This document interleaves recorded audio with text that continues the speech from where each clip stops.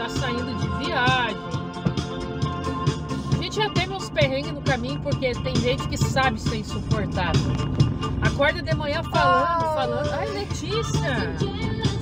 A gente mal abre os olhos da pessoa e aí tem que lavar roupa, tem que limpar a casa, tem que não sei o que, então usa usar cama. Cara, a pessoa vai pra tua casa acha que é hotel, só quer dormir e comer. Não é assim que funciona, gente. Vamos limpar a casa, querida. Vamos lavar a loucinha, fazer A comidinha. proposta que me fizeram foi outra: comida, casa e roupa lavada.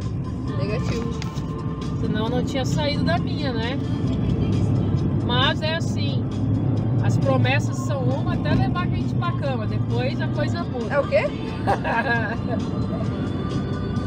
Essa parte não lembro, mas É, bem, né? cheguei, a senhora botou tá eu lá- dizendo, né? Botou eu lavar a roupa, limpar tudo, tá legal. Hoje de manhã já acordou achando que eu tinha que fazer isso todo dia. Ah, se liga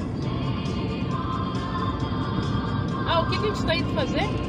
Batizado da Lalinha. Ah, hoje nós estamos indo no batizado da sobrinha da Letícia. Essa é afilhada. Afilhada, sobrinha e afilhada. Ela é a coisa mais linda do mundo. Até amo, parece. Né? Até parece.